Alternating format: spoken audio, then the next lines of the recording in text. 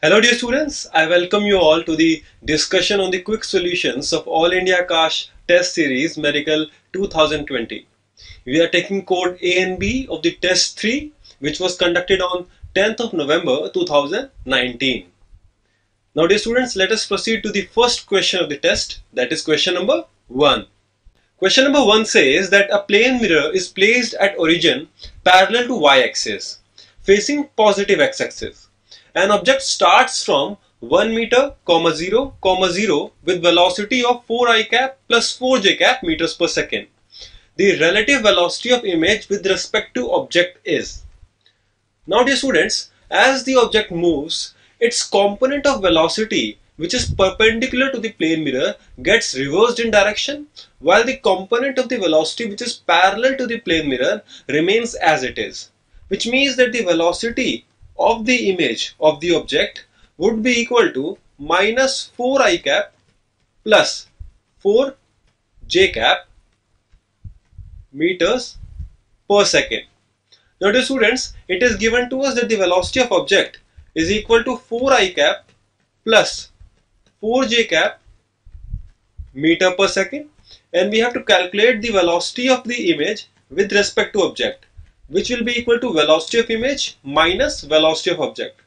Now substituting the given values in this expression we get that the velocity of image is equal to minus 4 i cap plus 4 j cap minus 4 i cap plus 4 j cap.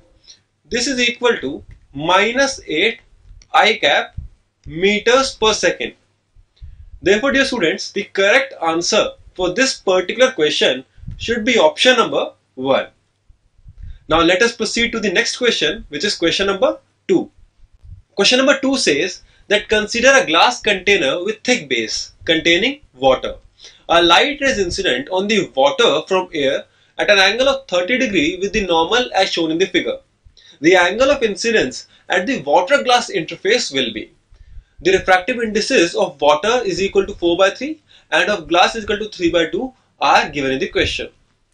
Now the students, as the light ray is incident from air to water, that means from a rarer to denser medium, as it moves in water, it bends towards the normal. So the light ray inside water can be drawn somewhat like this. Now the students, this particular angle is the angle of incidence that we have to calculate in this particular question. Now dear students, we can write down the Snell's law for this particular case. Herein the angle of incidence is 30 degree. Therefore, sine 30 into refractive index of air should be equal to sine i multiplied by refractive index of water. Now dear students, sine i would be equal to sine 30 into mu of air divided by mu of water. Now dear students, the refractive index of air is taken to be unity. Therefore, sine i is equal to sine 30 that is half into 1 divided by refractive index of water which is given to be equal to 4 by 3 as per the question. So we substitute 4 by 3 here. I turns out to be sine inverse 3 by 8. Therefore, dear students, the correct answer for this particular question should be option number 3. Now let us proceed to the question number 3. Question number 3 is a theoretical based question and says that lens maker's formula is applicable to first option thin lenses and for paraxial rays. Second option, thick lenses and for paraxial rays. Third option, thin lenses and for marginal rays. Or fourth option, which says thick lenses and for marginal rays. Now dear students, we know that the lens maker's formula is applicable when the lenses are thin and the rays are paraxial. Therefore, the only option which mentions the conditions correctly is option number 1 and that should be our correct answer. Now let us proceed to question number 4. Question number 4 says if tube length of an astronomical telescope is 80 centimeters and magnifying power is 15 for normal adjustment, then the focal length of the objective lens is.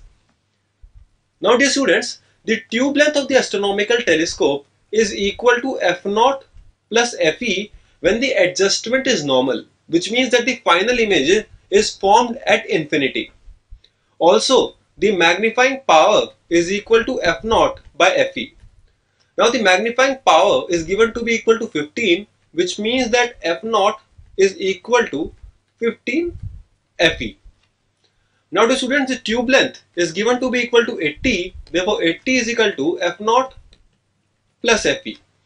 Substituting the value of f0 in terms of fe that is f0 is equal to 15 fe in this equation we can write that 80 is equal to 16 fe or Fe is equal to 5 centimeters. Now dear students, we have to find out the focal length of the objective. From this expression, we can write that F0 is equal to 15 into 5, which will be equal to 75 centimeters. Therefore, the correct answer for this particular question should be option number 3. Now dear students, let us proceed to the question number 5 Question number 5 says that refractive indices for a glass prism for red, yellow and violet colors are 1.690, 1.694 and 1.704 respectively. The dispersive power of the glass is nearly. Now dear students, the dispersive power can be written as mu v minus mu r divided by mu y minus 1 where mu v is the refractive index for violet, mu r is for red and mu y is the refractive index for yellow. Substituting the given values, we can write 1.704 minus 1.690 divided by 1.694 minus 1.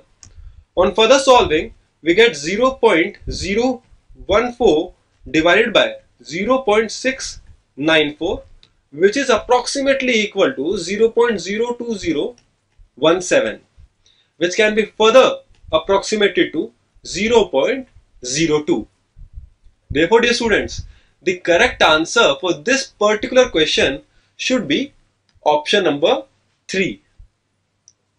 Now let us proceed to the next question of the test which is question number 6.